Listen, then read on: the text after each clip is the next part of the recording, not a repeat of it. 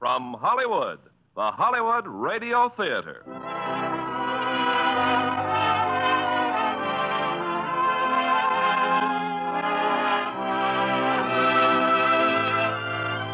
Starring Jeanne Crain and Dan Dailey in You're My Everything.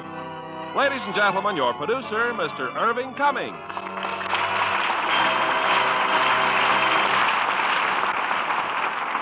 Greetings from Hollywood, ladies and gentlemen.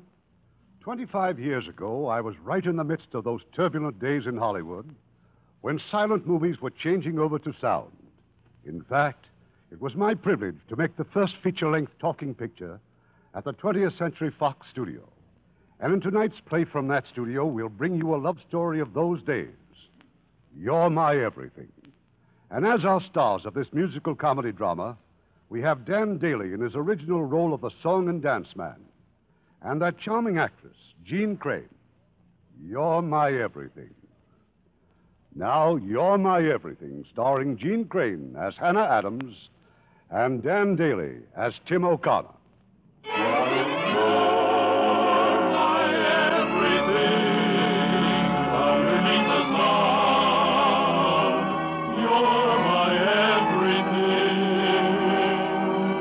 Boston, 1924. At the Belmont Theater, a matinee performance is underway. And for the fifth time in two weeks, a pretty young lady named Hannah Adams is in the audience. Believe me, the show isn't that good. But there's an affable young man on the stage named Tim O'Connor. Here is the drag. See how it goes? Down on the heels, up on the toes. That's the way to do the varsity drag. Hotter than hot, and newer than new, meaner than mean, and bluer than blue. Gets as much applause as waving a flag.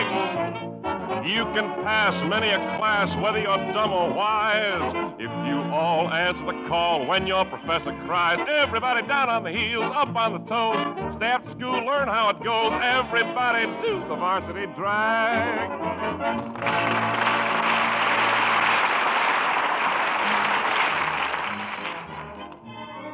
It's an hour later. The performance is over, and outside the theater, here's Hannah Adams again, waiting for the rain to let up.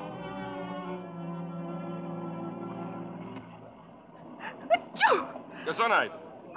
Oh, I only said Gesundheit. well, y- yes. Well, thank you, Mr. O'Connor. You know me? Oh, no, no, I, I don't really, but I, I just saw the show, and, and I think you're, well, well, honestly, I think it's simply, simply, You should have brought your umbrella. yes. Speaking of umbrellas, do you know a place around here a fella can get a good steak dinner? Well, no, not, not exactly. Maybe some nice seafood? Spaghetti, even. Anything, just as long as it isn't baked beans. Baked beans. Oh, not that I have anything against your famous Boston baked beans, you understand, but why, they're the bulwark of our civilization. But after three weeks is a steady diet. Uh, Achoo. You better go home and soak your feet in a hot mustard bath. Well, be nice seeing you. Wait, wait, I, I do know a place where they serve a good home cooked dinner. Oh, I'd be glad to show you if you like. I like. Well, I, I I'm just going in that direction. Well, there's no sign of a taxi. Is it very far? Not if you don't mind walking. It, it's in Louisburg Square. Louisburg Square? Oh, but I know a shortcut. Come on, this way, Mr. O'Connor.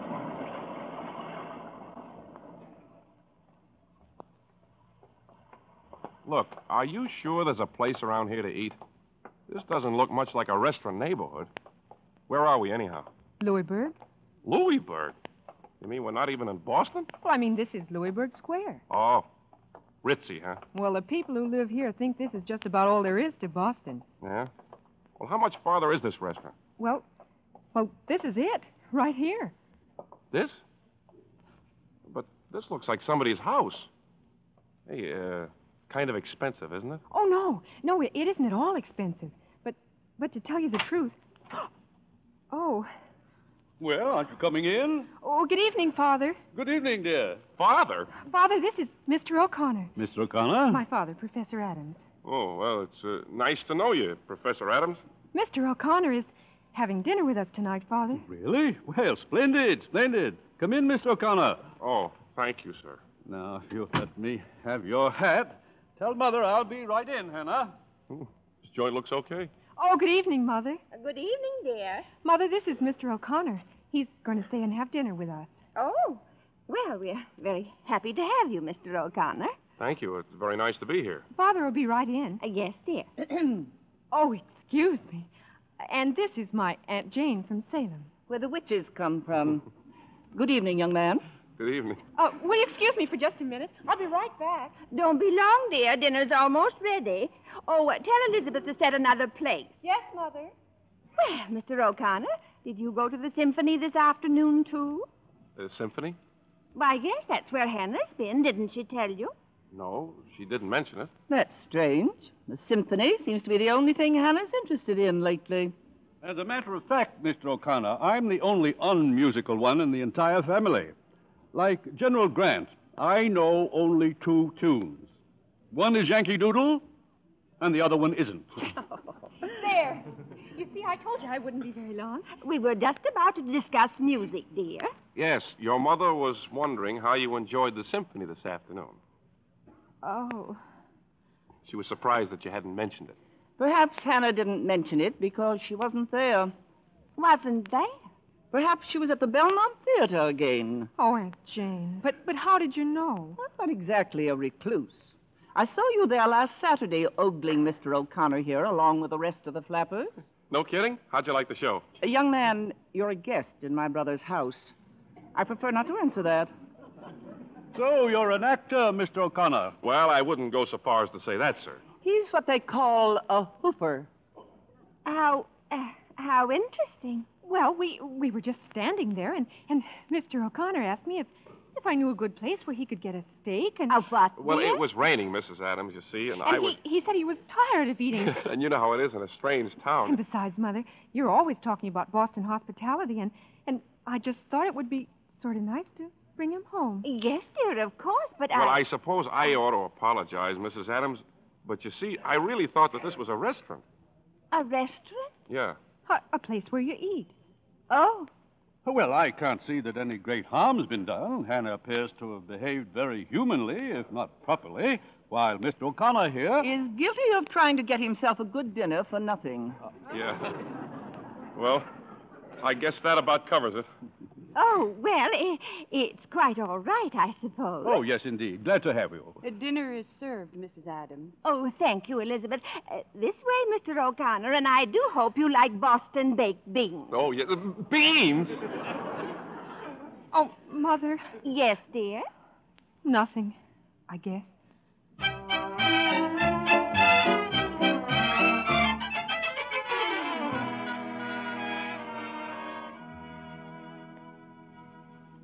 Can't stay longer, Mr. Well, I'm O'Connor. sorry, too, Professor. Eat and run, but you know how it is. The show must go on. Unfortunately.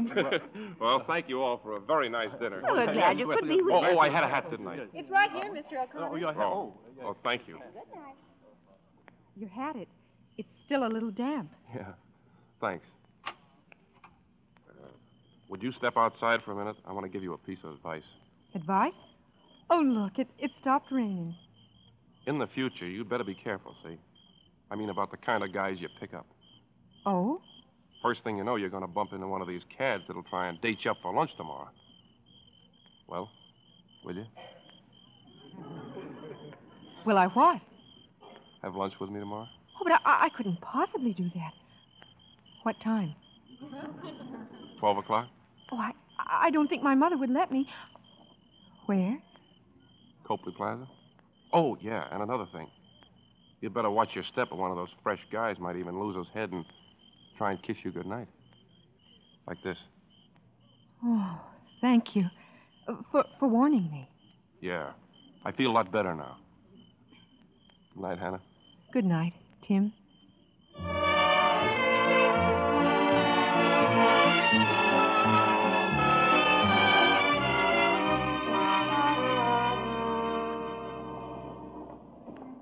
You just can't have lunch with me and rush right off. Besides, I have a surprise for you. Come on, we're going in this store. The music store? What for? You never knew I made a phonograph record, did you?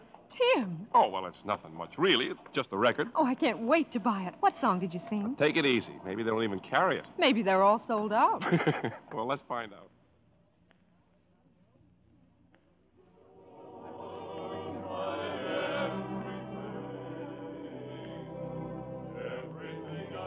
How do you like it?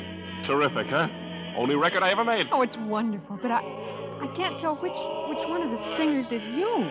Keep your shirt on. You'll hear it. I'll tell you when. Oh, that, uh, that corsage. Be sure and put it in the icebox when you get home. You can wear it again when we go out to dinner tonight. Oh, Tim, I can't. We always go to Uncle Edward's Thursday nights. Uncle Edward. We've been going to Uncle Edward's every Thursday night for, for years. Well, just think of what a relief it'll be for Uncle Edward when you don't show up. I'll pick you up at 6.30. But I can't, Tim. I, I shouldn't. Really, I, I just... Shh. Now, wait a minute. Wait a minute. Wait. Here it comes. Here. This is me. Wait a minute. Right now. Because I love you. Well, how'd you like me? Oh, it, it's beautiful. I do the same phrase solo again a little while later on. Now, uh, about tonight. Tim, please, let me listen. I want to hear you again. Yeah. You know, I can't understand why this record didn't sell better.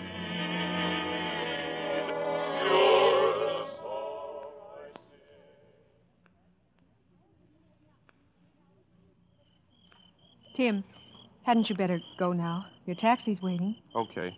Oh, I left a ticket at the theater for you for tomorrow's matinee. I won't be there tomorrow, Tim. We'll be there. But tomorrow's our last matinee. We're closing Saturday night. I I just think we shouldn't see each other again. Hey, what is this? Well, you said yourself it can't mean anything. That we live in two different worlds. Well, yes, we do, but Then then what are we arguing about? all I'm saying is I don't see why we can't go on seeing each other as long as I'm here. I'd just rather not, Tim. Then you want this to be goodbye? Well, isn't it? Will you kiss me goodnight? If you really want me to. I don't suppose I have to tell you how swell it's been knowing you. Goodbye, Tim. Yeah. So long, Hannah.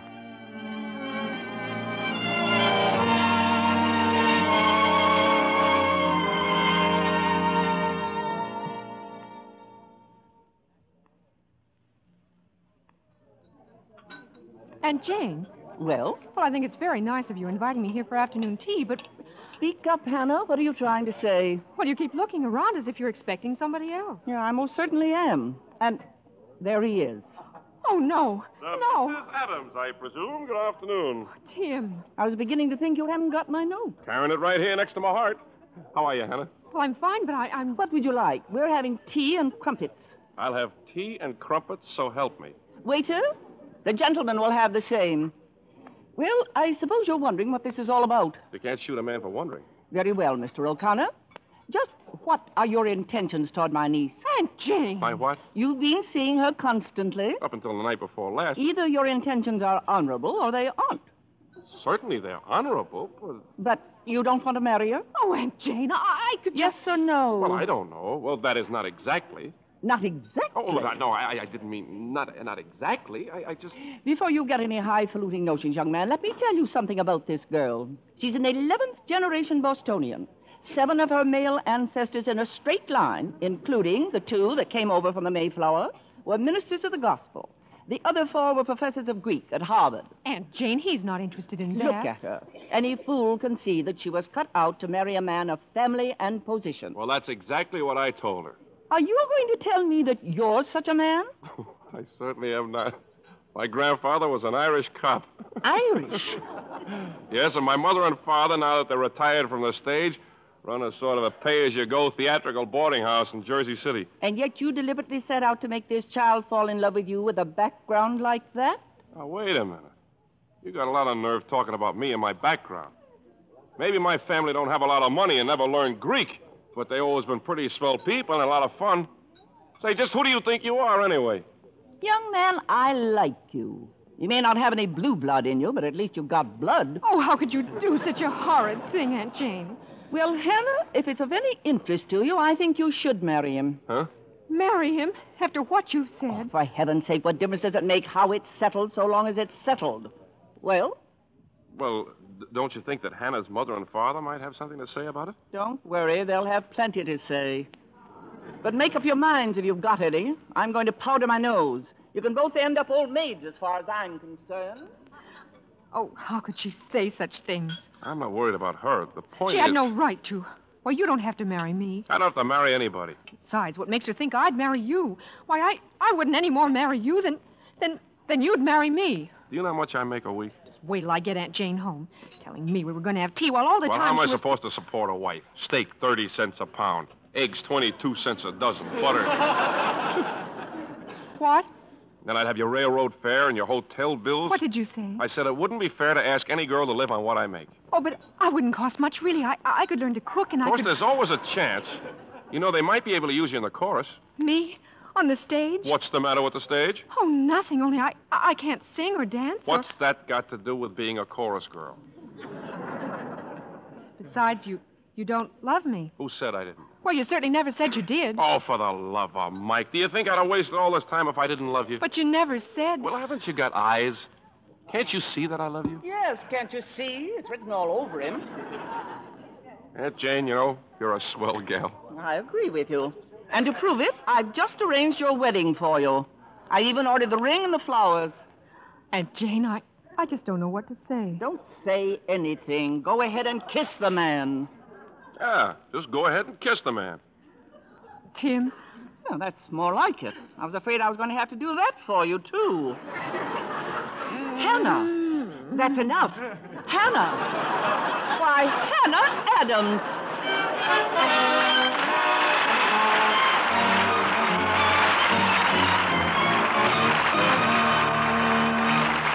We'll continue with this week's production of the Hollywood Radio Theater in just a moment. Make a friend, and you make an ally. There's a thought for you to keep in mind, as many another American has. Although Emory Alvord graduated college with an A.B. in agriculture, he wasn't completely happy. Through the work of a local missionary group, he discovered there was a great need for agricultural assistance in southern Rhodesia. So, together with his wife, Alvord volunteered for the job. At first, they found the backward Bantus disinterested, the climate almost unbearable, and living conditions far from ideal. But Alvord wasn't discouraged. He planted a corn crop that yielded more than the natives had ever seen. Then the Alvords built a new house for the boss of the village, not a crude hut like all the others, but constructed of bricks which they made themselves from straw and mud. When it was finished, the boss moved in with some misgivings, spurred on by the local witch doctor. Gradually, however, as the Alvords' work brought bigger and better crops to the natives and improved their living conditions, the fears and superstitions of the natives were dispelled. And eventually, even the witch doctor was won over to Christian thinking. For 30 years, the Alvords remained to gain the love and admiration of the natives throughout most of southern Rhodesia. As one grateful Bantu chieftain expressed it, Cecil Rhodes founded Rhodesia, but Emory Alvord founded the people of Rhodesia. Emory Alvord did something else, too. He discovered that by helping others, you help your country. Now, our producer, Mr. Cummings. Act two of You're My Everything, starring Dan Dailey as Tim O'Connor and Jeanne Crain as Hannah.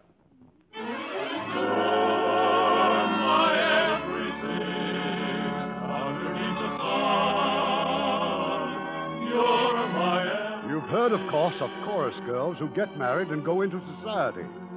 But how many society girls have you heard of who get married and go into the chorus? That's exactly what our Hannah has done, to the consternation of Boston and the confusion of the chorus. Well, anyway, Hannah's very nice to look at, and the show's doing fine. It's moved to Chicago now, and tonight, backstage, Tim brought someone into the dressing room. Well, go ahead, Mr. Plum. Go ahead. Tell the bride why you're here. Well, I guess I'm here to ask a question, Mrs. O'Connor. How would you like to go to Hollywood? Hollywood? Well, what would we do in Hollywood? Believe it or not, baby, Mr. Plum is a talent scout, and he seems to think this O'Connor guy might do pretty good in the cinema. You? In the movies? Well, I've caught the show several times, Mrs. O'Connor. I have a hunch this husband of yours has a real chance out there. Well, I, I'd better sit down. Not bad, huh? Have a little swimming pool running around the house? Some of them little old diamond bracelets climbing up and down your arm? Of course, we'll pay all expenses during the test, Mrs. O'Connor. Sure, if the worst comes to the worst, we'll always starve. Oh, I'm not worried about that, darling. You'll be as good as anybody they've got out there. Why, Uh. why, even better. I'll be bigger than Rudolph Valentino and Tom Mix roll into one. I'll be another Rin Tin Tin. oh, incidentally, we're leaving Sunday night. Sunday night. Then it's all set, Mrs. O'Connor? I can wire the coast?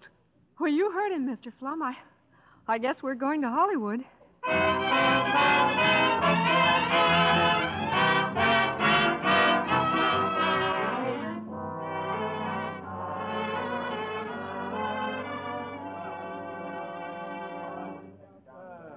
Okay, boys, get ready. Lights and cameras for the O'Connor test. I'm all set, Mr. Blanton. You ready for me, huh? Clear the set, everybody. Uh, Mrs. O'Connor, Oh, yes? if you'll just wait over there, please. Oh, yes, yes, of course. Are you all right, old boy? Me? Sure. Uh, you're still going to tell me what to do, aren't you? Naturally, old bean. I am a director, you know. All right, boys, we're ready. Music, camera. Just uh, stand there, Mr. O'Connor. That's it. Now then, you reach for your cigarettes. Uh, nonchalance, old boy. Uh, man of the world, you know. Okay, Bert? Okay, Mr. Blanton. Now, light the cigarette. That's it. Now, fine. You toss the match away and exhale. I said exhale, old boy.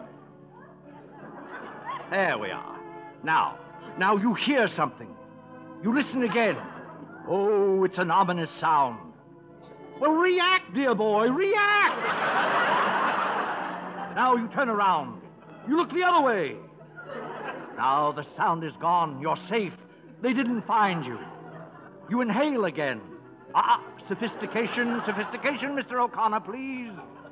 You blow the smoke out slowly. In, uh, in curls, I think. How's that, Bert?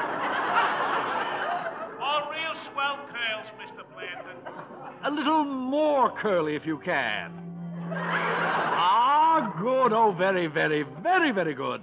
That's it, Bert. Cut! You, you mean that's all? Dear boy, I'll tell you when you're through. Sorry. Now, do you suppose you could hold a woman in your arms? Could you kiss her? I haven't had any complaints lately. oh, now let me see. Let me. Uh, ah, uh, could I borrow you for a moment, darling? Me? Well. Oh, oh Mr. Blanton, but I couldn't. I, Oh, no nonsense. All you have to do is stand next to him. I'm not interested in you, only in him, his reactions.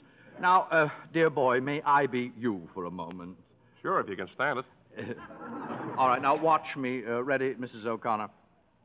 Oh, darling, I adore you. You're my very life. Tell me, tell me that you love me too. oh, for heaven's sake. oh, I, I'm terribly sorry, Mr. Blanton. I, I just couldn't help it. Your, your mustache. No, go ahead, Mr. O'Connor. Try to make love to her. All right, Bert. Camera, music. Your arms, Mr. O'Connor. Put your arms around her. Yeah, yeah, but what do I say? Cut! Dear boy, you can say anything you wish. Motion pictures neither talk nor sing, it's how you look. Okay, uh, okay, I'm sorry. Try it again, Bert. They're rolling, boss. Why, I hope I don't sneeze again, darling. What are you trying to do? Wreck my career just when I'm learning how to be a great lover? Kiss her hand, the wrist, the forearm. Well, now we're getting somewhere. That's what he thinks. Whatever possessed me to fall for a dame like you, anyhow? My romantic quality. I suppose you think I like to take you in my arms like this and kiss you. I tell you, I'm the luckiest guy ever walked home with a silly little flapper who didn't have any more brains than to pick up a hungry hoofer. Are you sorry I did? Sure, I'm sorry. So sorry I adore you. Oh, I adore you too, great lover. Keep going, old boy. Expression, expression. Well, then kiss me, will you, and make Blanton happy? Ah, that's it, that's it. Cut, cut, that's all, boys. Save the lights. This is a screen test? We have your address, old boy. You'll hear from us one way or another.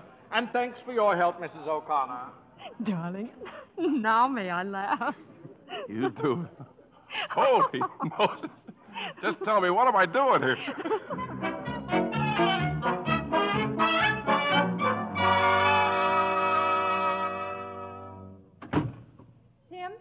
that you? Well, how did they like it? Only sensational, honey. And to quote Mr. Mercer, Who's Mr. Mercer? merely the head of the studio, you dumbbell. Oh, oh, yes, of course. Well, when do you start to work? Well, that's the funny part. I don't. It's you they were talking about. Me?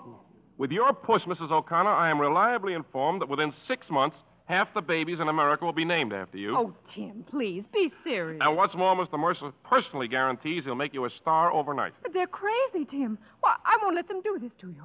And I'm not an actress. I'm. A personality, and that's exactly what they want in pictures. You don't have to act. No one even hears your voice. All you do is make faces. Well, I won't do it. I won't let them treat you like this. Now, wait a minute. Nobody's doing anything to me. Why, I ought to have my head examined even thinking about going to the movies. I'm a hoofer. I can get all the jobs I want. Now, you go in there and powder your nose because we're going back out to that studio and you're going to sign a contract for more dough than. Now, what's the matter? Tim, I, I can't do it. Why can't you do it? Well, well, I, uh, I'm going to have a baby. A baby? No. no you're kidding. Well, why didn't you tell me before? Well, I was afraid you might not want one. Want one? Why, I wouldn't take a billion bucks for. Uh, well, at least a million. Now, uh, where's the telephone? Uh, Tim, what are you going to do? What I'm going to do? I'm going to call my folks. I'm going to call your folks. I'm going to. hey, look. Look in the mirror, honey. Hiya, Pop. That's me, Pop. hello. Hello, operator. Tim, wait a minute. Now, j- just tell me, when's it going to be, honey? Well, that's just it. I don't expect it for years yet. Years? Well, I, I didn't mean I was going to have a baby now. I, I just meant I hope to have one sometime in the next few years. So you want to play, huh? Now, Tim? Tim? I, I, I will only meant teach that I. you I... to play gags on me. If you tickle me, I'll. Tim, no, no. Don't. I only meant that if I got to be a movie star. Oh, oh Are you no. going to get dressed? Are you going to that studio? Stop it. No, no, I don't want I'll to ask be in you just once more. Yes, yes, I'll go. Yes, stop tickling me. I'll do anything. I'll even go in the movies. Well, then, Mrs. O'Connor, let us get going.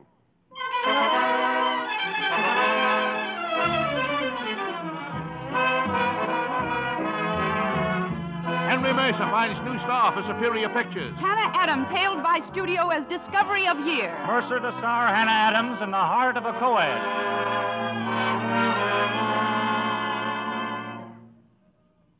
Well, what are you so worried about, baby? The picture's a big success. You're a star, just like Mercer said you'd be. But, Tim, the heart of a co-ed. Well, you saw it. Only 12 times. Well, it's so silly. Well, what's so silly about it? The people love it. What's silly about it? For the very first shot, here, there I am out in the backyard, hanging up a pair of bloomers. Well, Then Harold drives by and sees me. First, I, I wave like this, and I wave like that, and then I pat my hair, and then I, then I wave again. And what happens? A title flashes on the screen. It says, "Yoo-hoo." Oh, Tim, really? oh, but that next shot was far more artistic, baby. Harold gets out of the car and goes into a convulsion. Title on the screen What are you doing, Harold? Reaction from Harold. Title on screen I'm doing the bunny hug, can't you see? Oh, that's one picture that won't be banned in Boston. I'll be banned. Oh, Hannah, for heaven's sakes, they think you're great. You are great. You're exactly what the public's been yelling for. Yeah, that's what Mr. Mercer keeps telling me. Well, he's right. When does the next epic start? Day after tomorrow, Superior Pictures present Hannah Adams, America's hotshot girl, in in Flaming Flappers. Think you can start without me, honey? Tim, then you've heard from Chicago? Yeah. Nightclub job, two weeks guaranteed. You you're accepting it, aren't you? Baby, we've been through all that. Oh, I know. I know. You've got to accept it. You can't just sit around here doing nothing while I'm Uh, there's one thing I'm sure of, though. As soon as those two weeks are up, I'm coming right back.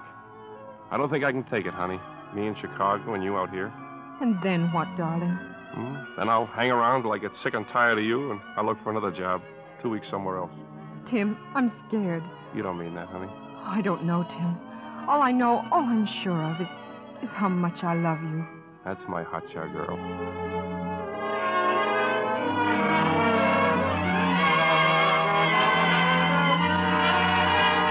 Flaming Flappers breaks box office records in key cities. Mercer signing new contract with Hannah Adams. Hannah Adams, number one box office star of year.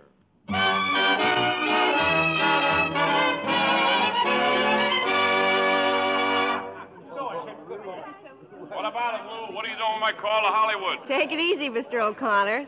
I got the house, but your wife isn't home. Oh, You don't want to speak to the maid, do you? what do you think? I think you want to speak to Mrs. O'Connor. Hey, that sounds like my cue. Keep trying, will you, Lou?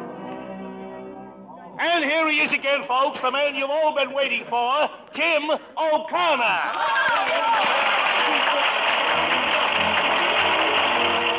I may be wrong, but I think you're wonderful. I may be wrong, but I think you're swell. I like your style. Say I think it's marvelous. I'm always wrong. So how can I tell? All of my shirts are unsightly, all of my ties are a crime. If dear and you I picked rightly, it's the very first time you came along. I think you're wonderful, I think you're grand, but I may be wrong. Though your lot is sad, I am just as bad. Mine is really quite a hopeless case. Oculists advise glasses for my eyes. Without them, I can't even see your face. I may be wrong, but I think you're wonderful. Oh, good evening. May I help you? I'm Mrs. O'Connor. Mrs. O'Connor? Wait, why, yes, you're Anna Adams. Oh, just wait till Tim knows your ears. Could you find me a table, please? Somewhere out of the way. Right this way, Mrs. O'Connor. Faces. You might be John Barrymore. You came along, I think you're wonderful.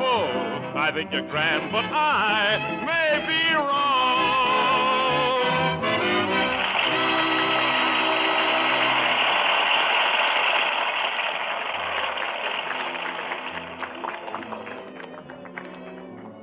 Hannah, Hannah, I thought it was some kind of a gag when they. Oh, baby, am I glad to see you. When'd you get here? About half an hour ago, I, I took an airplane. Oh, darling, I just had to. Sure, sure, I know. But what happened all of a sudden? When did you decide to come? The other night, just after I talked to you, I tried to put a call through just a little while ago, and they said you weren't home. I couldn't figure where you were. I wanted to surprise you, Tim. You sure did, baby. Now, what about the new picture? Aren't you starting it? I was. What do you mean you was? Well, I, I made them put it off. How? Well, I just told them I was going to have a baby. Again? well, it worked, didn't it? I'm here. What a dame. Oh, it was awful, wasn't it? But I just couldn't stand it another minute, darling. I happen to be in love. Do you mind? And you know, I'm, I'm not very bright about making up excuses. Well, you do all right. Anyway, why do I have to keep on being a movie star? I just want to be with you. Well, this won't go on forever, baby. You've still got that vacation coming. Maybe I can get one, too. We'll go away together. Oh, we'll never go anywhere. Either you'll be working or, or I will. It's been that way for months now. And for what? To, to build a trust fund so we can have the finest tombstones in Forest Lawn? Well, it's the only time we'll ever be together. Oh, sometimes, Tim, sometimes I wish those talking pictures would come in. Hey, yeah, what about them? Oh, they sing a song or something in the jazz singer. It doesn't mean anything. It, it's just a, just a. What is it, honey? What's the matter? Oh, it, it's nothing. Nothing. You look pale or something. I just feel dizzy all of a sudden. I bet you haven't eaten a thing. I'll get some hot coffee. Hey, Jack. Oh, no, no, darling, no. I, I'm fine now, honestly. Oh, now look, honey. Wait a minute. There is something I'd like. Tim, do you know what I'd really like? No, honey, what would you really like? A great big sour dill pickle. Well, then I'll get you a. Hannah. H- Hannah, but girls don't ask for dill pickles unless. I told you I wasn't any good at making up excuses. Holy Moses, I'm a father. and this time she means it.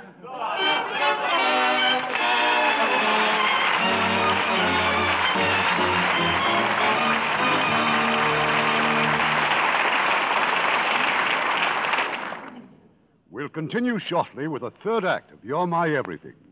Make a friend, and you make an ally. There's a thought for you to keep in mind, as many another American has. Dr. Frank Laubach kept it in mind and devoted his life to helping others. He first went to the Philippines as a missionary in 1915, and some ten years later went to live among the then primitive Moros. He asked them to teach him their language, not a syllable of which had ever been written. But Dr. Laubach found that by means of phonetic charts, he could teach the illiterate Moros how to read and write their own language for the first time. Until the Depression, money came in from Americans who'd heard of the doctor's work. And then a Moro chief gave Dr. Laubach an idea how he could continue his teaching. Through the theory of each one, teach one, each native who learned to read and write would teach another to do the same, and so on. Within seven years, each one teach one helped the natives rise from a 95% illiteracy to a point where over 70% of them could read and write. Dr. Laubach enlarged the scope of each one teach one to reach other countries, and from his work was born the World Literacy Committee, which has sent teams into 67 countries to spread the theory of each one, teach one in over 200 different languages. In 20 years, over 65 million people learned to read and write through the system, a system which has brought the family of nations closer through education and proved most graphically that by helping others, you help your country.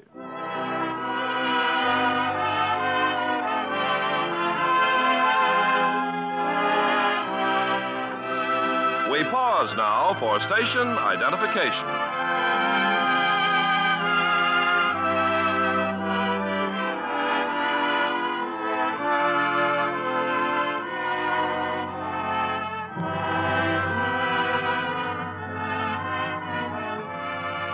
Curtain rises on Act Three of You're My Everything, starring Jeanne Crain as Hannah and Dan Dailey as Tim.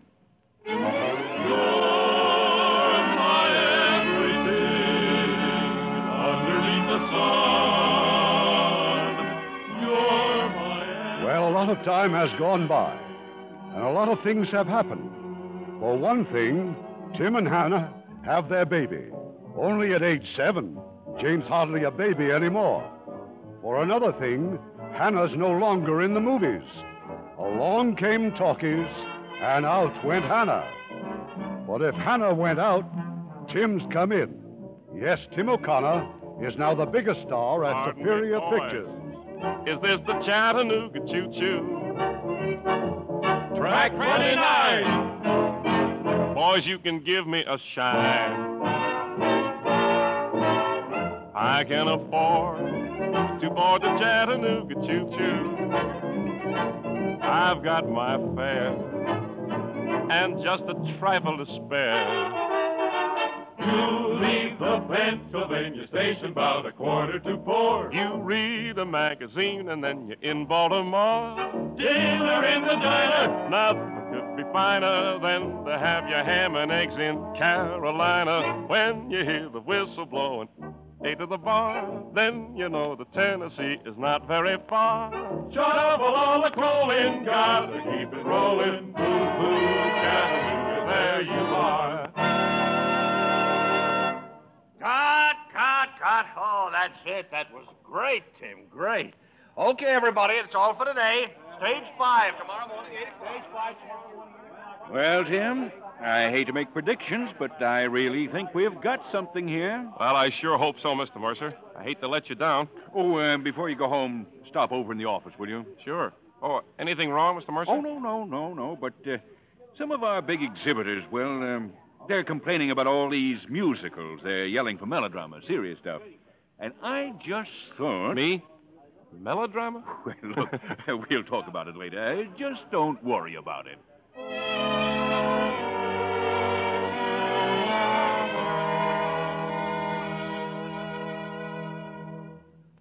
If it's okay with you, honey, I think I'll take Janie over to the studio tomorrow. Oh? She gets such a kick out of watching me work.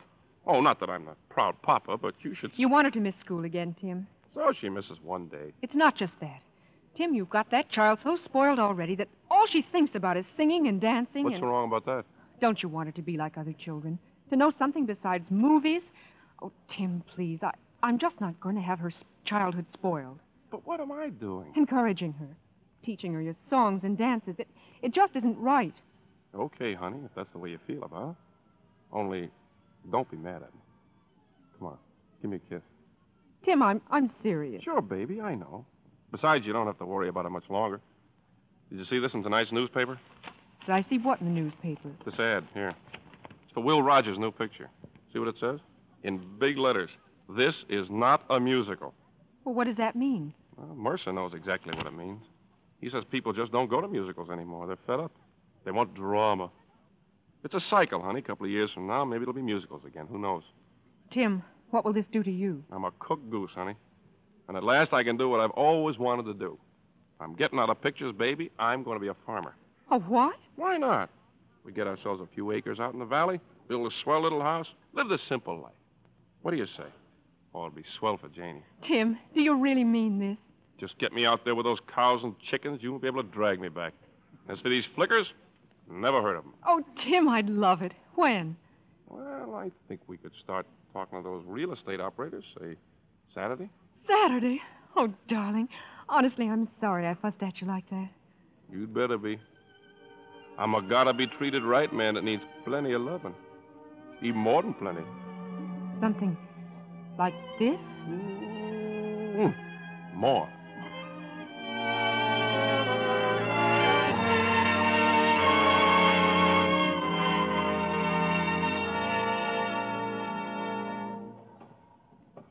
Give the horses a good rub down, Johnny. They're pretty hot. Yes, give the horses a good rub down, Johnny. They're pretty hot. Look, Big Shot, I'll give the orders around here. Yes, sir. Where do you suppose Mommy is? Don't you remember? She went shopping this morning. Oh, yeah. Yeah. Shopping. Pop, you know what I read in the Hollywood Reporter this morning? Musicals are coming back. They are, huh? Alexander's Ragtime Band just broke the house record at the Roxy. You don't say. Well, you can stop hinting, see? Because I am through in pictures. I'm a farmer. Some farmer. Well, whatever I am, that's what I'm going to stay, understand?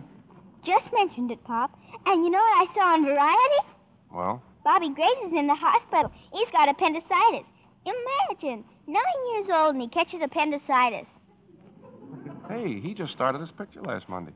What'll they do? What can they do? The kid's the star. They'll have to close down, of course. Tough on the studio, honey.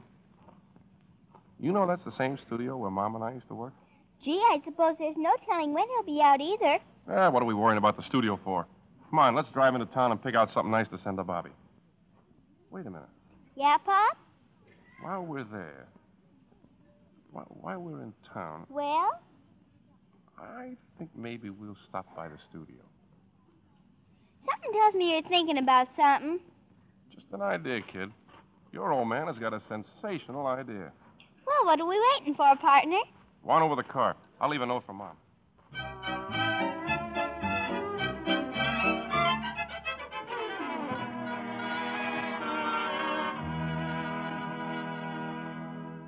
Oh, no, wait. Wait just a second, darling. Just catch your breath and say that over again. I'm in the movies, Mummy. I'm in the movies. That's where we've been at the studio. Darling, do you mind playing outside for just a few minutes? I'd like to talk to Daddy alone. Well, sure, Mommy. But gosh, aren't you excited? Oh, boy, wait till I tell the mom. Tim? Just a hunch I had, baby, and it worked. Henry Mercer is nuts about it. The part was for a girl, see? Well, I mean, for a boy, and I got him to change it to a girl. And not only that, I talked him into giving me a bit part. There's an old, old colored butler in it, and that way I can be on a set with Janie. And Don't she'll you think you might have talked to me about it first? But I didn't know about it first. It was just a gamble. Baby, Mercer might have said no. You know how I feel about Jane and working in pictures. Tim, you promised me. But I thought you'd be tickled to death. After all, the picture business never did us any harm. You know as well as I what it'll mean. Long hours, rehearsals, costume fittings, posing for publicity, people chasing after her every minute. I I just don't want that for her. But Janie's got real talent. You just can't. I've tried to keep her sweet and simple like other children, but you you just egg her on. I didn't know you were going to feel this strong about it.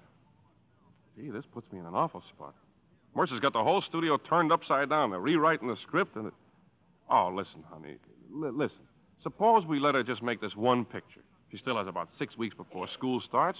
And if you're still unhappy, I'll tell Mercer that you and I, well, that, that we've decided she just better not go on. I'm sorry, baby. I guess I just didn't stop to think. Tim, if if I could be sure it'd be just this one picture. I give you my word, honey, I won't even mention it again. Cross my heart and hope to die. All right, Tim, you win. Atta girl. Kiss me. Oh, you big mug.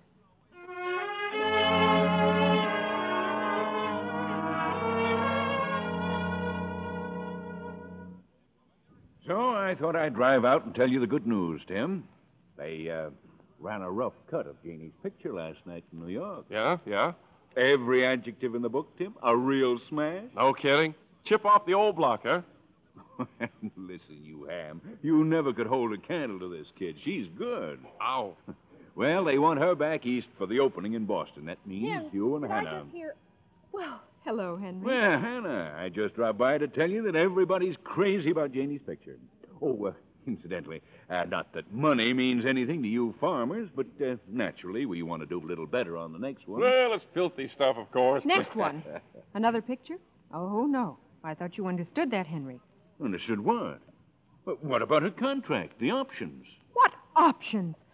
Tim, you promised me. Of course me. I did, baby, but no studio makes a contract without options. Then you knew all along. Oh, for the love of Pete, this is something Janie loves. It's in her blood. I'm sorry, Henry, but Jane is not going to make any more pictures. Well, this is a fine time to tell me. What am I supposed to say to New York? I don't know. Perhaps Tim has some suggestion. Well, Hannah, wait, Now, wait, let her please. go. Let her go. I've got something to say about this. You better make it good with the mood she's in. Now, don't worry. Look, uh, you mind waiting? I'll go upstairs and settle this right now. But you deliberately lied to me, Tim, going behind my back and signing that contract. Well, what if I did? She's my child, too, you know? And fine care you take of her, making her work all week in that slush and those wind machines. Why, she almost came down with pneumonia. Pneumonia? She sneezes a couple of times and you build it up until. Oh, for the love of Mike. Well, it's not going to happen again, Tim. Even if I have to. Have to what? Even if I have to take her away from here. You'll take Janie nowhere. Now, wait a minute, Tim. I. Hannah, what's got into you? I used to think you had a brain, but now the way you're acting, I. Jane and I are leaving on the first plane for Boston. Oh, that's fine. You're going home to Mother, huh? I haven't seen that since your last picture. Are you out of your mind? I'd like to know who's going to stop us. If you walk out of this house, Hannah, you know what it means, don't you? I know exactly what it means. So if you'll excuse me, Tim, I'm going to find Jane.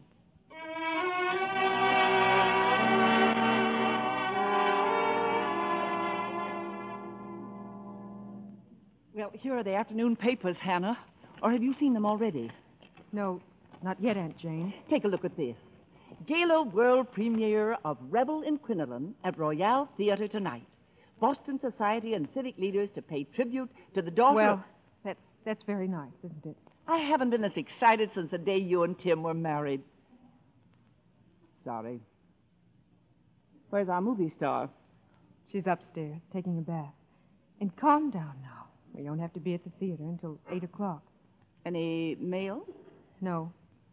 Honestly, you'd you'd think he'd write or wire or something. Today of all days, at at least to Jane. I don't suppose you've written to him either. Why should I be the first one to write? Oh, no reason. None of my business, as long as you're both so happy. If anybody calls, I'll be upstairs dressing. Oh, what a family.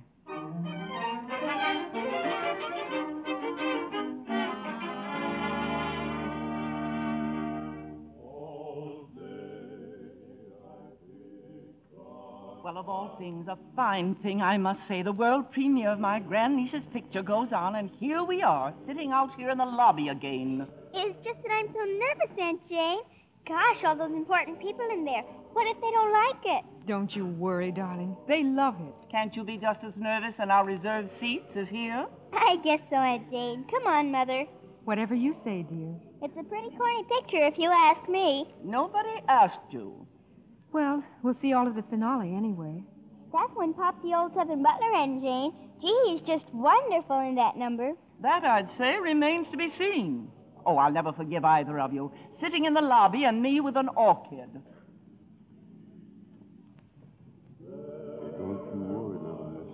Look at Pop, Aunt Jane. Look at him. I can't find our seats. They're right here. Now sit down and, and not so Going loud. down yonder to New Orleans and fetch your daddy. Really, Uncle Matt? Sure we will. Sure. Now you just close your pretty eyes and go to sleep. Cause I done promised your daddy I was gonna take care of you. Good night, Uncle Matt. Good night, honey. Now is what I dream about, Aunt Jane. Oh. Get on the good ship, lollipop. It's a sweet trip to the candy shop where bonbons play. On the sunny beach, peppermint bay, Lemonade stands everywhere. Crackerjack bands fill the air. There there you are, Happy Land. On a chocolate bar, see the sugar bowl, do the tootsie roll with a big fat devil's food cake. And if you eat too much, Ooh, ooh, you'll awake with the tummy ache on the good ship lollipop. it's an all-night trip into bed. You hop with this command. All aboard All aboard. for Candyland. Come on, darling. The picture's almost over. Mr. Mercer will be waiting backstage. You're supposed to make a speech, you know.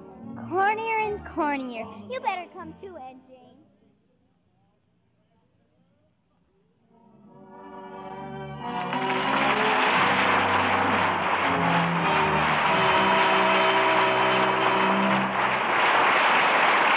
Uh, ladies, ladies and gentlemen, on behalf of Superior Studios, thank you for the manner in which you've received our picture.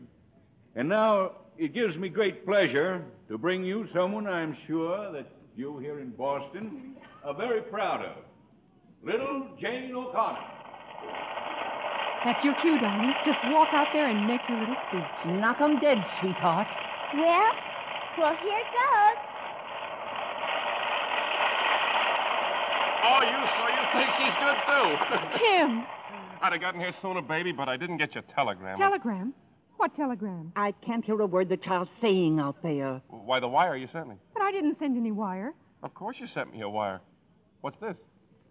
Well, you wanted him back, didn't you? Well, well, yes, but but And you've got him, haven't you? Now wait a minute. You too? You wanted to come, didn't you? Well, sure, but not if Hannah didn't want me. Oh, be quiet. I got both of you into this mess in the first place, and I'm going to see that you don't get out of it. Well, go on, you you actor, you. Either hit her or kiss her. Jane's speech. We've missed her entire speech. Well, I guess I got through all right. Daddy! Hello, baby girl. Oh, Daddy, we missed you so much. Yeah, I, I know, honey. And please, I don't know how you feel, but let's don't ever go through this again. Oh, no. Don't you worry, my little missy. But from now on, the Confederates and the Yankees, they plain love each other. And there ain't nobody gonna do no seceding from nobody. Nowhere. no time? No, ma'am.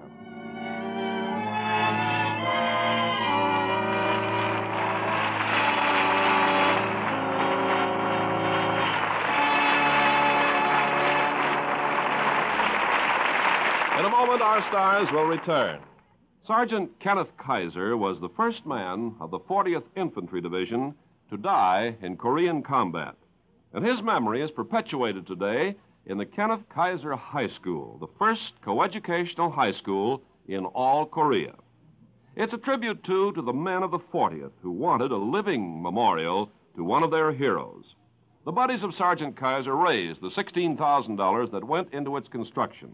They planned the building, and they provided much of the labor. 285 boys and girls there proudly wear the tiny enameled metal pins that are replicas of the insignia of the 40th Division. It's a dynamic, continuing memorial that has promise of making its influence felt for generations to come. Such acts by you and your friends today are shaping our world of tomorrow.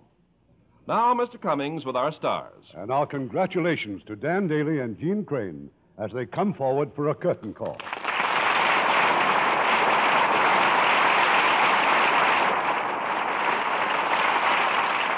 Well, that place certainly brought back memories, particularly the good ship Lollipop. It reminded me of Shirley Temple. You directed Shirley Temple in many of her pictures, didn't you, Irving? Yes, and that's one reason I welcomed sound to the screen. It brought a whole new wealth of talent with it.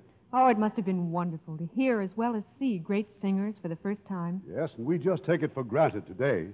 Why, singers like Ezio Pinza, Roberta Peters, Jan Peerce, any one of them would have been a thrill. And now 20th Century Fox has starred them all in one picture.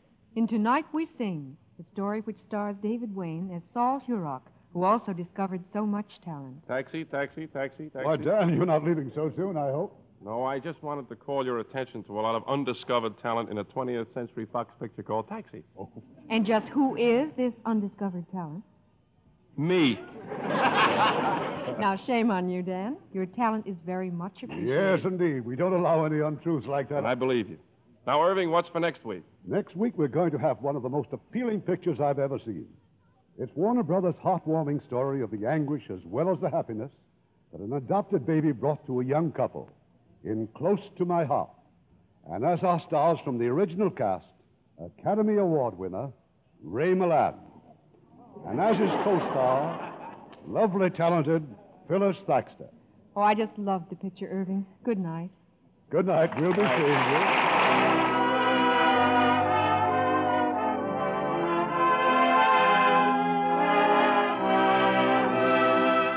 Radio Theater is produced by Mr. Irving Cummings, our orchestra directed by Rudy Schrager. This is Ken Carpenter inviting you to be with us again next week for another worldwide presentation of the Hollywood Radio Theater, brought to you through the facilities of the United States Armed Forces Radio Service.